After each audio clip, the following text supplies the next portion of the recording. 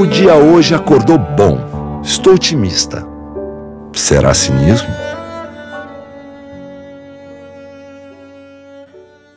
Bom, o perfeito cozinheiro hoje é um objeto raríssimo que todo mundo quer ter. É, na realidade, é um caderno tipo os antigos cadernos de contabilidade pautados e numerados e que teve uma utilização absolutamente excepcional. Eu estava começando minha vida editorial e o Frederico Nasser era o editor desse livro. E eu tive a sorte de chegar, ele me mostrou uma gaveta e falou: ah, isso aqui são projetos, tem alguns originais. E eu comecei a mexer quando eu bati no original do Perfeito Cozinheiro. Fui perguntar para ele era essa joia preciosa aqui, com com várias leituras possíveis de ser feita. Era um caderno que ficava num apartamento, num escritório no centro da cidade, eh, exatamente na rua Libero Badaró 67, num prédio que o Oswald de Andrade alugava e compartilhava com os amigos uh, para encontros amorosos. Ele foi escrito num período de seis meses, o registro é de 1918. As histórias do meu pai, principalmente as que estão num homem sem profissão, né?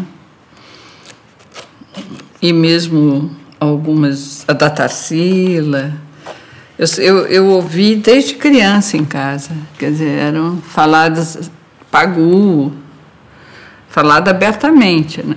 A Daisy é a figura uma das, né, é difícil dizer quem é a figura central, mas a Daisy, ela, tantos que ela está aqui logo na contracapa, né? Cada pessoa que, que frequentava eh, fazia alguma anotação, acrescentar, eh, eh, está assim dentro do espírito daqueles jogos surrealistas que vão construindo um texto, passando um para o outro. Se a Ciclone estivesse entre os ventos da tempestade clássica de Virgílio, Enéas não escapava. Aparece em 18 a personagem Miramar, que depois geraria. Então, Oswaldo de Andrade, uma, uma, a personagem mais marcante é, é Miramar. E ele, ele brinca muito com a palavra mira, amar. Quando a gente dizia, mas quem é Daisy, papai? Quem é Maria de Lourdes? E ele contava as histórias assim, por cima, mas contava que foi uma mulher que ele foi muito apaixonado. A vida é toda pregada de alfinetes, cheia de plissés de franzidos. E nós somos os grandes costureiros da Rua da Amargura, sempre em número ímpar. E ela é chamada de Miss Ciclone, Ciclone com Y. Então devia ser uma pessoa era normalista, tinha 18 anos, havia uns 10 anos de diferença. Ela dá conta de um jogo com eles, de, de provocação de palavras, etc. E a vida prossegue. Vê se reanimas o teu pobre coração. Sempre foram grandes paixões, grandes ideias, grandes acontecimentos em torno. Então a Deise é, é isso, né? Essa, esse furacão musa inspiradora de todos eles. É, quer dizer, há muito, muito texto dedicado a ela, Viva-me Ciclone, não sei o quê. Então era, digamos, um objeto aglutinador. Ciclone não veio até agora. São 10h43 neste relógio. Ontem fui com Gero Linonet apanhar a tarde vestida de roxo, com a Ciclone, na solidão elegante do Jardim América. Todos dizem que amavam a Daisy, mas ele, ele ele supunha que ela tinha amantes, ele tinha um ciúme doentio dela. E ela realmente tinha uma vida meio eh, escondida dele, né? Diz que tomava um bonde para o Brás. Quando ela comunica que está grávida, a, a, primeira pergunta que ele faz, muito machista por sinal, é de quem que ela ficou grávida. É por uma questão de higiene sentimental.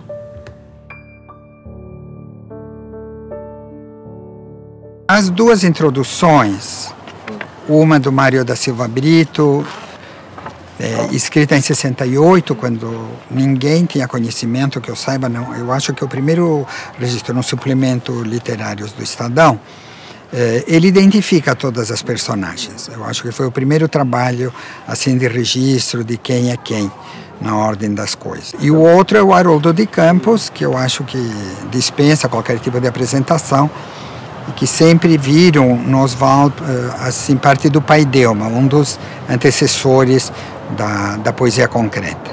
Por que, que vale um facsímile? Nessa obra fica muito claro, é uma obra conjunta de vários escritores, eh, ilustradores, artistas, etc para você ter o feeling daquele, a sensação do que, que significava aquele grupo trabalhando em conjunto, sabe? A marca do grampo que está no papel. Qual é o limite? O que, que você inclui o envelhecimento daquela obra? Você está reproduzindo um momento específico. Então, tem uma vida dentro do original que você quer repassar.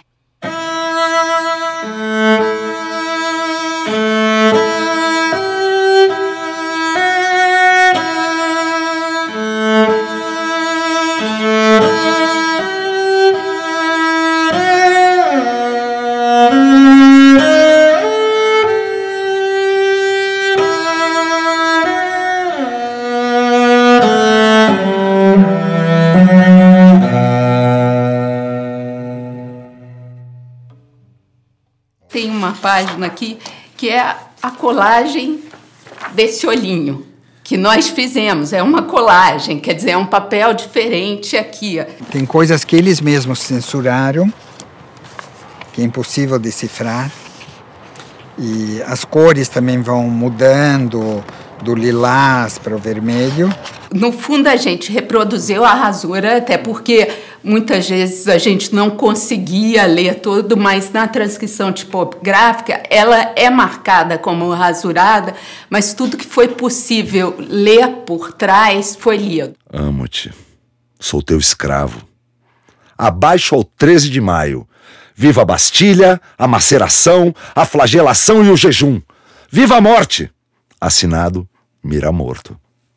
Eu não sei por que, que o Frederico resolveu fazer isso. Valeria a pena perguntar a ele. Dificilmente foi por questões financeiras. Eu acho que ele fez isso por paixão. Totalmente por paixão.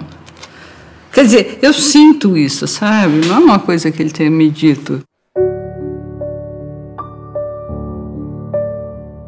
A última carta que a, a Daisy, o Hemiciclo, escreve para ele, ela não está em São Paulo e já se percebe que há uma distância, ela chama muito pela presença dele, uh, recupera memórias, as leituras e fala de, de um estado precário de saúde. Eu não ficarei lá. Eu voltarei dentro de um mês. Bom, naturalmente eu ficarei o resto de agosto. Mas eu quero que me escrevas para lá. Cravinhos, Caixa do Correio 19, Maria de Lourdes Pontes. A Daisy, infelizmente, engravidou. Quer dizer, o, o infelizmente não é pela gravidez, mas foi por um aborto mal feito que em poucas semanas levou ela à morte. Ele se casou com a Daisy porque ela não tinha um túmulo para ser enterrado em São Paulo. Quer dizer, ele se casou com a Daisy porque ele amava a Daisy e ele quis fazer um ato oswaldiano, né? Que é casar em extremes e uh, torná-la esposa nos últimos, nas últimas horas ou dias da vida dela. O jazigo dela está é, na família. Tanto assim que o diário culmina com uma nota necrológica. Agora é curioso que, é, digamos, um, um diário tão intenso em tão pouco tempo e que culmina com a morte dela. Né? É, não deixa de ser curioso. É, é totalmente romanesco. Viva a religião do amor. Viva a religião do amor. Tem que garimpar e mais fundo, buscar o Oswald que vai se transformando aqui através dessa paixão e dessa relação com todos esses grandes amigos, né? Numa garçonière em São Paulo.